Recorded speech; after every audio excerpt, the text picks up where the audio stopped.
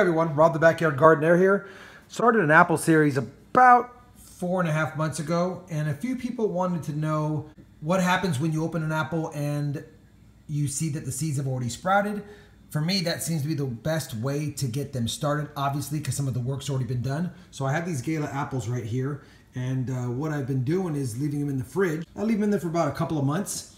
It kind of fools the seeds into thinking that they've now gone through winter, and they start sprouting after about I guess 800 hours is what the book says on seeds for apples. They need 800 or really below 42 degree temperature days and nights, a total of 800 hours, and they will start to sprout, assuming that winter is almost over. So I cut the apples open, and as you can see, we've got several seeds in these first two. Only about a handful have sprouted, but one's really done a good job of sprouting, so this will be really easy to start. Once I finish cutting this one open, I'm going to be placing them in the wet paper towel method, which I'll show you. And within um, five to 10 days, I should have the majority of these sprouted and the ones that don't, I can give them a little more time. But I want to start a second series as well and see how these guys do.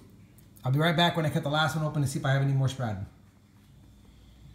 All right, so we've got the apple seeds here. Obviously the best one I put in the middle, it's already sprouted, but you could see little tiny sprouted ends on a few other ones on here. Let's see if I can get a good picture. So I'm kind of excited to see how they go.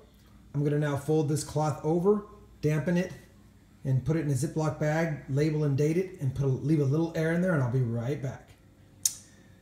All right, everyone, there you go. Gala apples, 51716.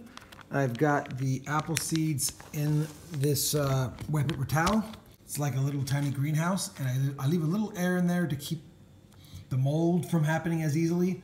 But these should be out within five to 10 days tops, and we'll get them into uh, some soil. Anyway, just wanted to update you on how I started my other apple seeds, and I will keep you updated on these as well. Thank you.